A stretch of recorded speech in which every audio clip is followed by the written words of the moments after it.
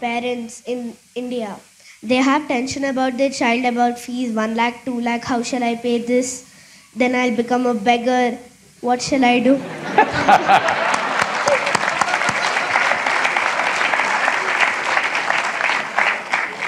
Hey, if you were a beggar, there would be no problem with one lakh, two lakh. Then they have a peaceful life. Then uh, the parent says the child, I have a very uh, beautiful life, enjoyment. Then after that, we think that how do they live happily because they have these many tensions about the child. that what do they do? How will they fall? Why will they uh, kick someone and all that? Then how do they still have a peaceful life?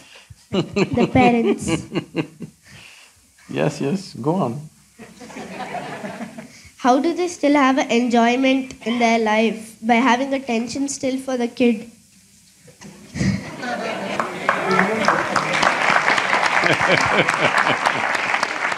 Some parents manage to forget about their children for some time.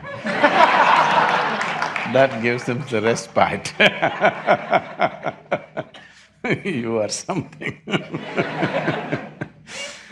What's your name? Sanjana. Sanjana. Sanjana, I want you to observe not just your parents, just observe people around you. Just watch them carefully. Because this all I did in my life when I was your age, simply observing everything, not saying a word about it. If you observe people, you will see, today we are creating a world, toddler means uh, they have, you know, the napkin problems.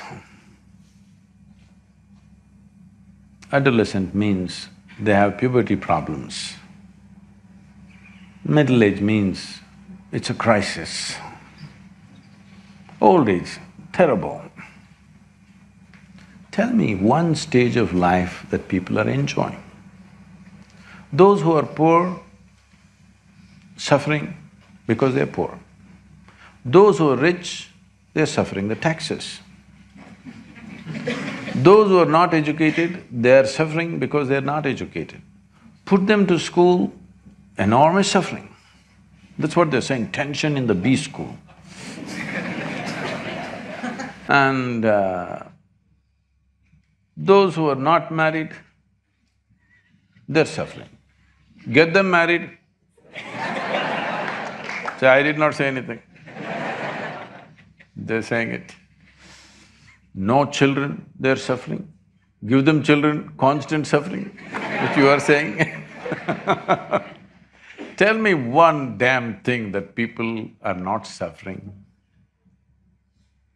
Everything. So somebody comes out with a philo- philosophy, life is suffering.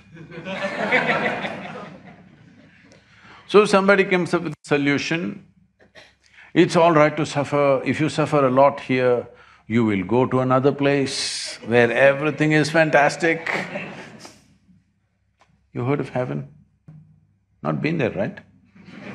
Oh, heaven. Heaven is the most fantastic place. The reason why we suffer is there everything is fantastic. But I'm asking, do you have any proof that you are not already in heaven and messing it up? Hello? Do you have any proof that you are not already in heaven and making a mess out of it? Just go out and see, I think it feels like heaven, the B school. Maybe you making a mess out of it. Look at this planet. From outside the solar system, look at this planet, all the other planets and planet Earth. Does it look like heaven? So you already landed on heaven and making an absolute mess about it, and you want to go to another heaven now because you made a mess out of this. So, people are not stressed because they have children. They don't have children, they're continuously miserable. Children came little bit spurts of joy, rest is only crying about it. So this is not because of children, this is not because of marriage, this is not because of B school, this is not because of employment. This is simply because human beings have not figured how to handle themselves, that's all. Wherever do you put them, something, you give them what you want, make, make them the king, they're miserable there also. Yes? Yes or no? People have become risen into very high positions, still miserable or no? So this is not because of any situation, definitely not because of a wonderful girl like you. Huh?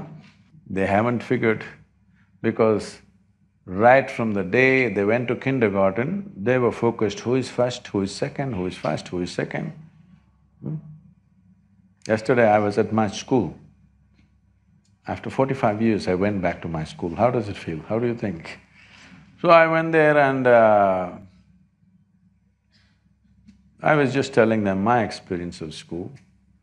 When I went to school, you know this monthly uh, marks card. When this marks card comes, when the teacher gives it to them, some look at it and they're strutting around because they are first, second, whatever. Some are sitting in one corner and crying because they're not happy with the numbers that they got. I never opened the marks card in my entire school. When they gave it to me, I took it and gave it to my father. He blew. I couldn't understand why just this card. I never opened it and saw because I thought this is a transaction between my teacher and him.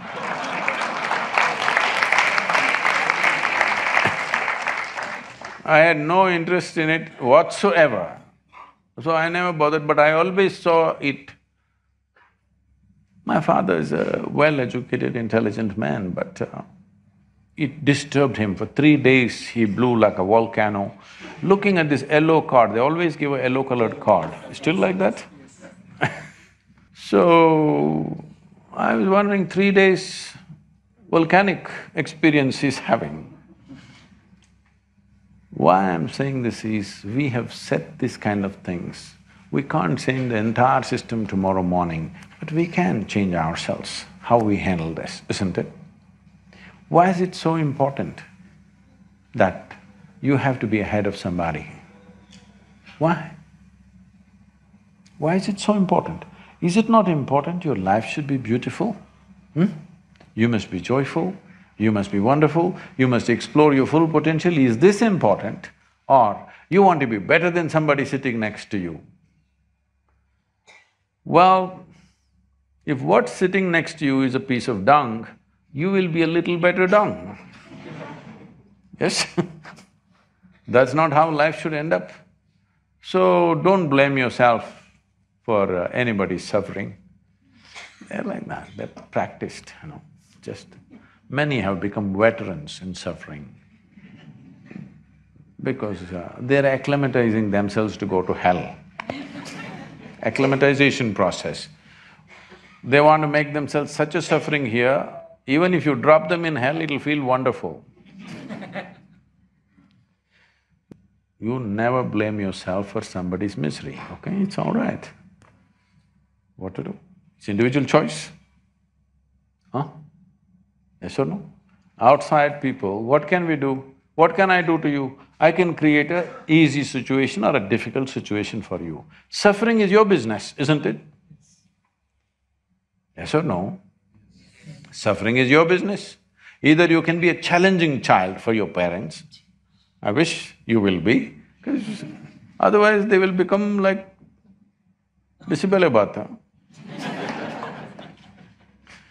You must be a little challenging for them. So whether they enjoy the challenge or suffer the challenge is left to them. Am I… is it okay? Because uh, what I see is, it doesn't matter how many arrangements you make, those who suffer anyway suffer, isn't it? Just… just see the Western countries as an example. What everybody is dreaming of, or what even people don't dare to dream here, an average American citizen has. You think they're all bursting with joy?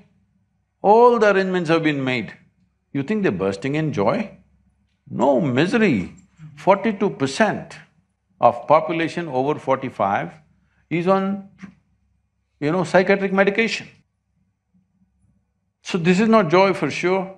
Even mental health is not being managed because just making external arrangements is not going to fix this life. It's very, very important that you make inner arrangements that even if they send you to hell, you will go joyfully. You heard of Gautama, the Buddha? You heard of Buddha? When everybody was talking about going to heaven, Gautama said, what will I go and do in heaven? Because you say everything is wonderful there.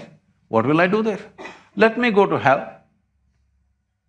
Because you say everybody is suffering there, let me go and do something because anyway I cannot suffer. I made myself like this, I cannot suffer, so let me go to hell. Even now the Buddhist texts talk about Buddha being in the lower world. Well, you should have this kind of freedom, isn't it so? Huh? Even if I go to hell, I will live well. Nobody has to send me to heaven.